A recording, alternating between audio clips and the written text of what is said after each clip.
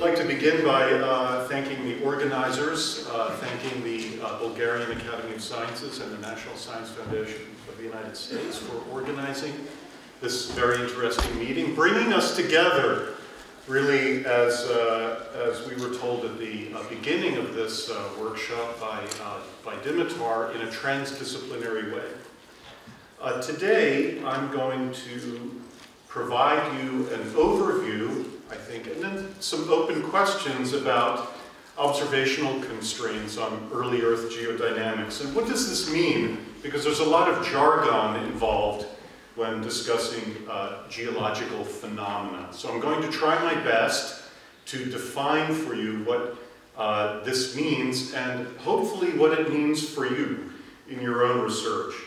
Um, I am uh, Stephen Mojzsis, that's me here. And I'm at uh, Budapest, uh, which is a, a neighbor of um, Bulgaria, not very far from here. And um, what I'm going to present today is uh, made possible by outstanding collaborators. This is, this is not even a complete list, and some of the people are here. Uh, Irep Gözen, I'm extremely excited to see her presentation on encapsulation. And uh, I've worked with uh, John Sutherland and Dougal Ritson on some aspects of uh, early phosphate chemistry.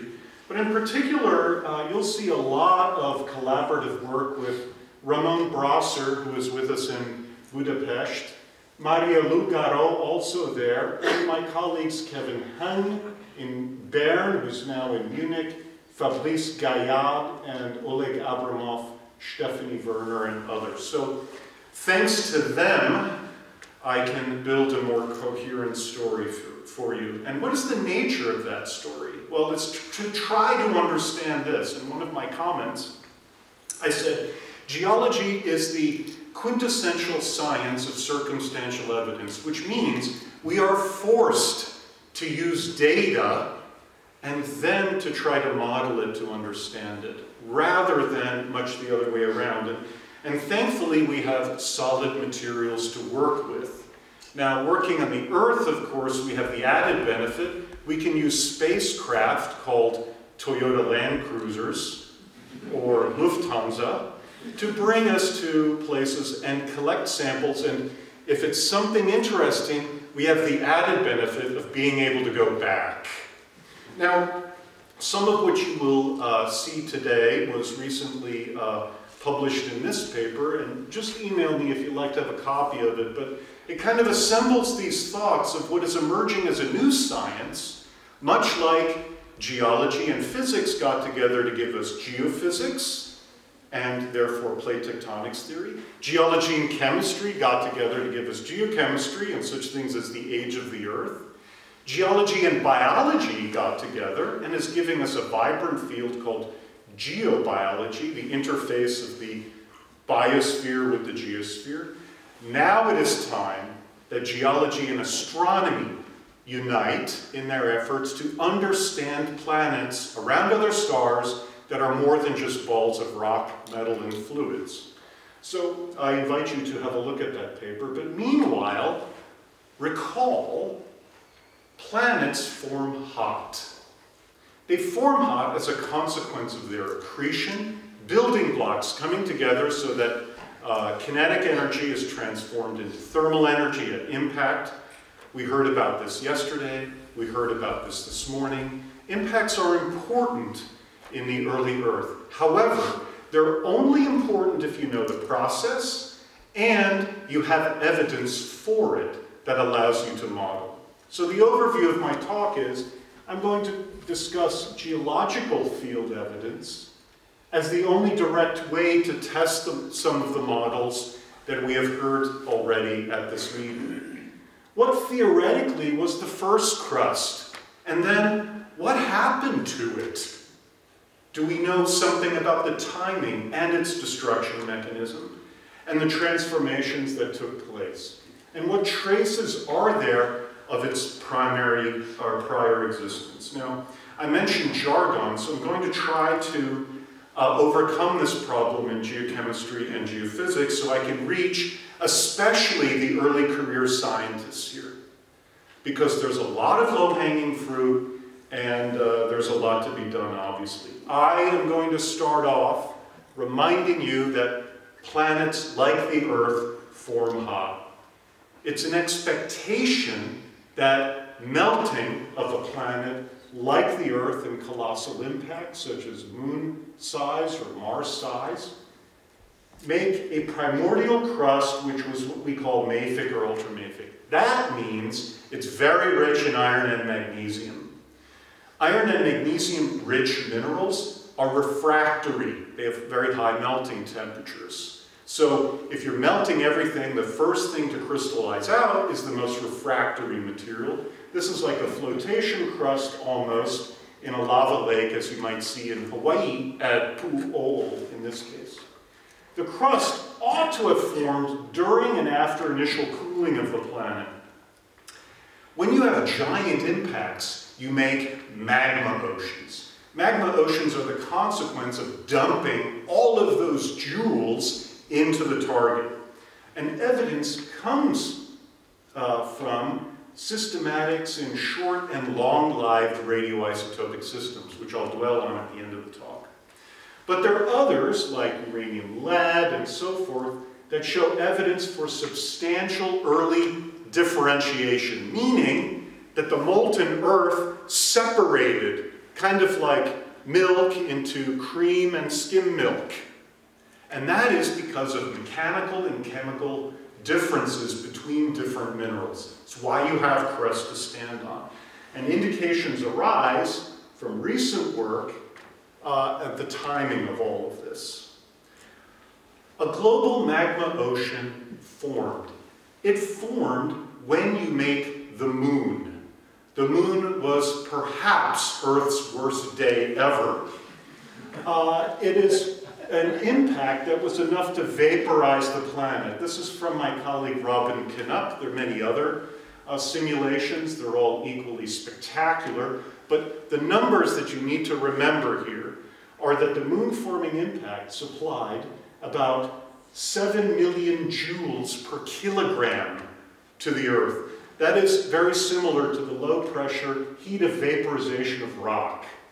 Latest estimates place this at about 35 or so million years after the first solids formed around the sun.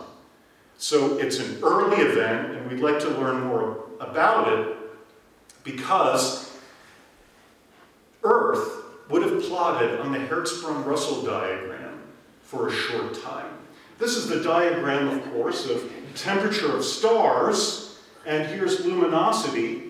Earth would have plotted right here for about 2,000 years next to where Proxima Centauri is now. But this cooling effectively radiates back to space and then uh, precipitates a rock vapor atmosphere. We know what the first rock ought to have been, because if you take something of Earth mantle composition, which is what this is, this is a phase diagram. So pressure in gigapascals transformed to depth in kilometers. Here's 400 kilometers here. This is temperature here going down, and this is in Celsius rather than Kelvin. Once you get from here, which is where we plotted on the HR diagram, to over here you hit the, the solidus for olivine plus pyroxene plus liquid. These are common minerals formed our, which are very rich in magnesium, iron, and they're silicates. So the first crust would be like this, which is called komatiite, a rock that is very rare these days, but if you look at the early geological history of our planet, is quite commonplace. It has a melting temperature that's something like 200 degrees higher than our mantle is capable of achieving now, which is example of secular cooling Earth. So then what happened?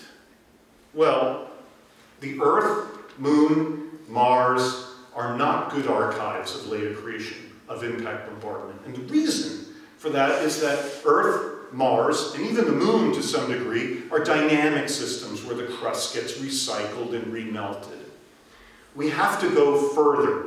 We have to go to the asteroid belt to understand the nature of accretion of material that's coming in and continuing to strike the planets. The asteroids are an archive of late accretion. We have 60,000 samples of these things in the world's collection. They come from 130 or so parent bodies. We only know about four of them for sure. But the asteroids are fascinating because they predate the planets. So anything that happened to the planets happened to them, and it, the information stays with the asteroids and is erased on the planets. We've analyzed the ages of uh, different classes of asteroidal meteorites, from Vesta, from primitive uh, achondrite and stony meteorites that look like rocks, iron meteorites, enstatite chondrites, which we think are dominantly the building blocks of the Earth, ordinary chondrites, dominantly the building blocks of Mars, and so forth. And these are ages versus the temperature at which the ages reset. This is called closure. So when the system is open, when it's hot, you let it cool, information is retained in different minerals and different isotopic systems at different temperatures. I think you all see that there's this waterfall type pattern here. We make sense of this as the onset of giant planet migration at 4.48 billion years ago, here. That's the only mechanism that is powerful enough to kick up the velocities in the asteroid belt, create the thermal conditions to reset ages in things that are two and a half times farther away from the sun than we are. Using these data, we can model it. And so we've done this with uh, Ramon Brasser and Stefan Werner, published a couple of years ago in Icarus, where this is Mercury, Venus, Earth, Mars, Jupiter, Saturn, Uranus, and Neptune. They're in close configuration. And they scatter the leftovers of planet formation. This is modeling late accretion. So we know the time scale, we know the masses, and then we try to uh, reconcile it with a model. And that's what this is. This is a cumulative crater frequency, but you can think of it as flux high here, low here. And this is time. These are various old uh, ideas about how the flux changed with like a late heavy bombardment or a smooth exponential decline. But late accretion here of the inner solar system has to account for the total masses, has to account for the crater statistics, and has to account for the ultimate end product geochemistry of the planets. That's what this is, this red line. So now we have a production function for what has happened to the Earth ever since the moon forming event. Well, that's cool. Now what? Well, a lot of people have uh, got interested in how giant impacts have done things like make evolved crust on the early Earth and origin of continents and impact-driven subduction, and so on. It's a hot topic, pun intended. But why don't we look for evidence of this? That's where I'm going to use this mineral called zircon. Many of you have heard of it. Many of you have not. Zircon is this mineral here. It has a crystal structure like this, a tightly compacted zirconium orthosilicate structure.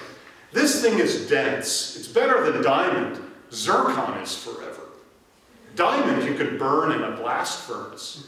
Not zircon, it won't, it won't even melt at a thousand degrees. And it also has lots of information contained within. It's very information rich and it's very retentive.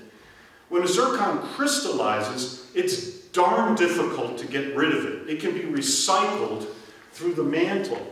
In fact, diffusion of information like elements like oxygen and rare earth elements, uranium, lead, thorium that we use for age determinations, is unimaginably slow.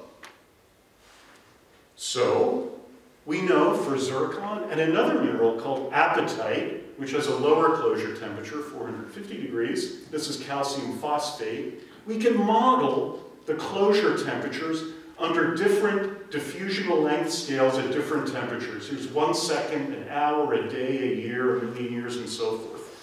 Now we have the tools to do this. We have the mass production function, we have a record in the crust, let's try to model it. The thermal consequences of bombardment using existing mass production functions are shown here. This is unpublished work. Uh, it's about to be submitted. But I show here the percent of crust that's molten here over time based on that production that I showed you. At any particular point of time, the maximum amount of crust here that is melted is about 60%, and then it declines rapidly. And that's because of the demise of comets, sweeping up of leftover planetesimals. The rest is just eking out bombardment from what's left from the asteroid belt. You can try to kill them all, and you still can't do it. This is if we started off with a magma ocean type condition, and you see that uh, everything is 100% molten at the origin here, but very, very quickly cools. So you have conditions where prebiotic chemistry, like what we saw this morning, can take place. Now we'll hear more about bombardment in the next talk by Tim Lichtenberg, and of course of small body interaction in the talk uh, at the end of the session by Rosita Kokotanekova. I hope I said that right. It's easier than Hungarian. now, this is what we get if we had zircons scattered through the crust and reset them in this bombardment scenario. So I'm using them as temperature pressure meters. So this is all model-based, and it depends on if you've got a high accretion rate or a low accretion rate, and you see the different uh, high and low means that there's a shift in the peak here of peak bombardment. This is work from yesterday. Uh, we used some new stuff uh, at uh, 0.57 weight percent of a very steep early uh, accretion event showing lots and lots and lots of impacts at about 4.3 billion years ago. Well, all of that's nice, pun intended. I brought a gneiss with me. It's right over there on that table. It's the Acasta gneiss. It's 4 billion years old. That rock has been around the center of the galaxy 18 times. So go, lift, pick, pick it up, lift it, touch it, and so on. But what I'm about to show you is that the significance of direct rock samples tell us specific conditions about origin of life on a planet like the Earth. And the significance of these samples is that they're direct samples of the Hadean Eoarchean world, but they're separated from everything else by shear zones. A shear zone is this. It's basically you take a rock, muck it up, and then roll it like this. It's what would happen to you if you were in the crust for four billion years. Now, there are frozen moments in time of a dynamic Earth. Every rock you pick up just records the last thing that happened to it. So what happened to the zircons? Now, there are places like here in, in Western Australia, the Jack Hills, which I've worked at. And here, this is a new place that I'm very grateful to uh, Nadja Drabon, a new assistant professor at Harvard, who has worked here, a new Hadean zircon locality in South Africa in the Barberton Greenstone Belt. Here are the zircon reset age spectra for different weight percents of late accretion coming in. So we would expect that zircon production from and destruction from impacts would be here. But here is the actual age spectrum of measured Hadean zircons from the Earth. Well, that's peculiar. Look, when that goes down, that goes up. And then I got really curious and I looked at titanium temperatures because zircons are also thermometers and so this is a bit messy, I'm sorry. But this is temperature here, so the higher you are, that's the higher temperature. So it looks like cool temperatures prevail down here, and then you get to sort of 800 degrees, which is where you crystallize rocks like the one that's back there. Well, that's interesting. because this looks nothing like production from impacts. Well, it's telling me to watch my time. And instead, it looks like crust production on the Earth. This is from Jun Korenaga. Korenaga shows from our data on, on neodymium isotopes, you had something like 5 to 10% of present continental area on the Hadean Earth. Doesn't sound like much. That's the area of Australia. And if you chopped it up 20 times and scattered it over the surface, that's plenty of opportunity for dry land. So since time is short, I'm going to go down now to this last And I'm going to say, where did this crust go? And we can trace the Earth chemically, thankfully, because we have isotopes. Now, isotopes aren't good just for heating, right? But they can also give you ages and process. And there's one particular one. It's the samarium neodymium system. Samarium is a rare earth element, and it has an isotope that's extinct, 146 samarium. It has a half-life of about 68 million years. It decays to neodymium 142. Well, the cool thing is that samarium here likes to stay in the Earth's mantle. Here's the core, mantle, and crust. Earth is like a giant avocado, actually. Uh, similar uh, ratios of, of seed to mantle to. Well, if you're over here, if you're taking from the mantle, you have high samarium to neodymium ratio because samarium likes to stay in the mantle here, and neodymium likes to go in the crust. Here in the crust, it's the opposite. The crust has low samarium but high neodymium. So it means that the decay here of this extinct nuclide takes the Earth and it separates it, what was previously together. So positive stays in the mantle, negative goes into the crust. Because it's extinct, you're not making any more changes to this ratio. So to get rid of it, you have to put it together. So you have to mix it together. So that's what this story is. The story from the Acasta rocks, like the one over there, it's four billion years old, shows crustal, low, negative anomaly here. And it shows that that was formed about 4.4 billion years ago. Other rocks from western Greenland and northern Canada that I've worked on, from the Isua supracrustal belt and the Nuvvuagittuq supracrustal belt, these things are about 3.9 billion years old. They have both positive, which is mantle derived, and negative, which is crustal derived. And they show separation here. Everything should be the same. Everything should plot in this little box. But in this early day, we see the separation, the formation of the crust. Well, I think you can see positive on one side, negative on the other side. You put them together, there's a trend in age. You're, you've unmixed them, and then now you're mixing the two reservoirs together in recycling the crust. This resembles the cooling curve of Earth's mantle here, which is cooled with time. Earth is doing this.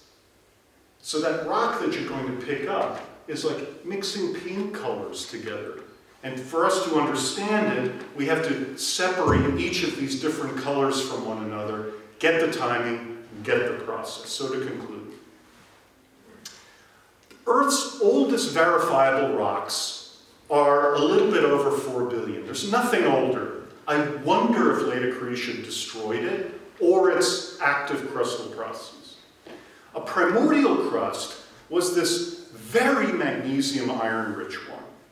But it was remade into something like continental crust rapidly because Earth loses heat and it recycles this crust rapidly.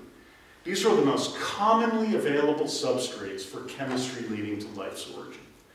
The oldest sediments show circumstantial evidence of a dynamic in the Hadean uh, eon, including beach sands that we heard about this morning, but emergent land was present, and we're seeing evidence of it. Thick, buoyant felsic crust, like continents, existed throughout this eon. Dry land is a natural consequence of planetary cooling. Every volcanic edifice that you saw is there because the planet has to lose heat. The primordial crust was destroyed, and this means the record can be confusing if you try to measure everything, you just get an average. Late accretion had a strong potential to modulate the crust, but it was a risk versus reward scenario for early life, and any prebiotic chemistry must account for these observations. I want to thank you with a picture of what I think the early Earth looked like, and also thanks to the early career scientists. I look forward to discussions and further uh, education during this interesting meeting. Thank you.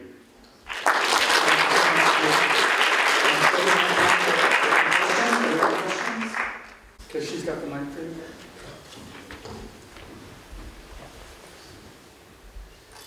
Thank you, Steve, for a very nice talk. Um, I have a naive question, and probably just an absolute crazy hypothetical, but I was kind of curious about it. If you happen to form a planet out of the material that Earth is made out of, the same size and everything else, but somehow happen to avoid differentiation, what would it look like? How would you do that? Uh, Oh, I, I, I don't think you could. I'm just curious, what would the differences be? Would that tell you anything important about what differentiation has accomplished? So, so there are a couple of ways to account for differentiation. Differentiation means that you're separating everything mechanically and chemically into a core, mantle, and crust, right? Metals in core, silicates in mantle, flotation material in the crust, and then apophile elements, right? You do this during accretion, so heterogeneous accretion, because things are slamming in at 18 to 40 kilometers per second and building up uh, larger objects. Most of the mass comes in from a, a, accumulation or agglomeration of larger objects. And then there's radioactive heating. But let's say that happened late when a lot of the early radioactivities, like aluminium-26, already went extinct. Then differentiation becomes incomplete or inefficient. So the degree of differentiation is in some ways a function of the time at which the planet forms. I'll give you an example. Let's imagine we had a super Ganymede. There's nothing physically impossible about making a planet that's like the mass of the Earth, but it's 50% ice and rock. That would be if it formed late by cold accretion, at low velocities in the outer solar system, it would maybe partially differentiate. So what's really missing here for planetary science is that unlike astronomy, which has an HR diagram for stars, there is no HR diagram for planets. We're still trying to figure out what kind of diversity is actually out there. Thank you for the question. Thank you, Stephen, for the excellent talk. Uh, ben Pearce, JHU. I know you've done a lot of uh, excellent work with zircons, and in our field there's been numerous studies which have helped uncover some more stories about the Hadean Earth. Uh, Dustin Trail et al., for instance, as yes, well. my former student. Very proud Excellent. him. Uh, and I'm wondering now if there's anything more that can be learned from uh, isotopic analyses of zircons, or if we've really uncovered all we can about the Hadean. Do you like The Onion? It's that paragon of journalistic excellence. There was a cover story of The Onion once that says, geologists say we shall soon run out of rocks. People like me who spent more than a quarter century looking for old rocks have run into a wall. There's nothing older on the earth that's a rock than four billion years, than that thing that's lying on the table. So we have to go elsewhere. We have to go to the moon, we have to go to Mars. Did you know they're Martian zircons? We've analyzed them. Martian zircons also have a record of the oxygen fugacity of the Martian mantle. Here's the Earth's mantle oxygen fugacity evolution from Dustin's work and uh, work of, um, of Jesse Reimink and us and so on. It plots up here where CO2 and N2 and so on are expected to be degassed. Mars, on the other hand, is down over here. Iron Wüstite around zero plus or minus one. Hydrogen ought to come out there, and CO and other things. So now we have to extend these kinds of studies to extraterrestrial materials. And yeah, there's still uh, a great deal to be learned. Nature has a lot to tell us yet. Okay, thanks very much, Steve. Thank you. Is Tim here? So, um, next up is Tim, uh, Lichtenberg, who, um, comes to us from the Netherlands.